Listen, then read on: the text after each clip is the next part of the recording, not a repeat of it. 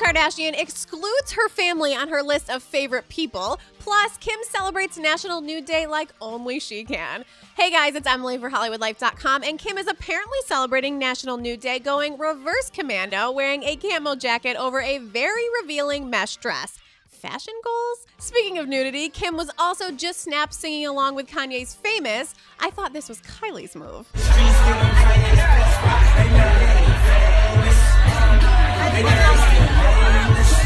Gears, remember MySpace? I wonder whatever happened to Tom. Anyway, Kim recently took to her website to reveal who her former top eight friends were on MySpace. For you youngins out there, the MySpace top eight section was basically a list of who was in your squad. Kim's top eight back then is pretty amazing, with number one being Kourtney, then Rob, and then somehow Brody Jenner makes it. Wow, the times have changed. And then, of course, Ray J. Amazing. But all right, Kim also let everyone know who she would put on her current list. Kanye West makes it at number one, of course. Jonathan Cheban is number three, even after he ditched Kim for a look-alike version. Yeah, well, hello. Nice to meet you. nice to meet you too, finally. Jonathan's trying to rub this in my face and make me feel some type of way, but I don't.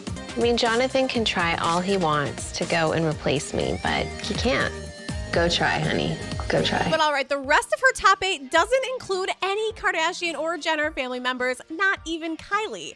Wait, was Kylie even born when MySpace was big? I gotta Google that after this. All right, guys, I need to hear from you. What Kardashian makes your top eight? Thank you guys for watching. We love you all so much, and all we ask so that we can keep making these awesome videos is that you subscribe to our channel, which is so easy. All you have to do is click on me on your desktop or down here below on your mobile device subscribe, and that's it. See, so simple. All right, begging session over. Bye, guys.